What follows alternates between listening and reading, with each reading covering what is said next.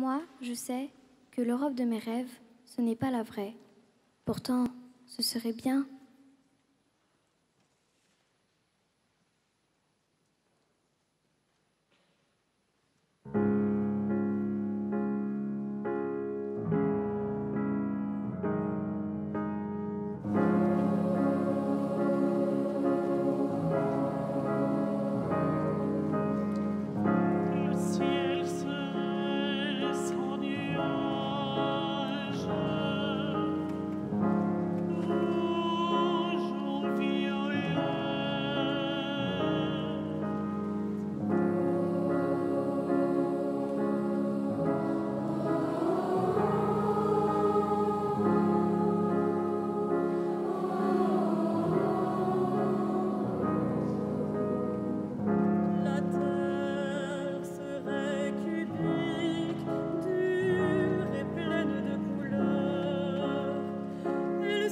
transforme.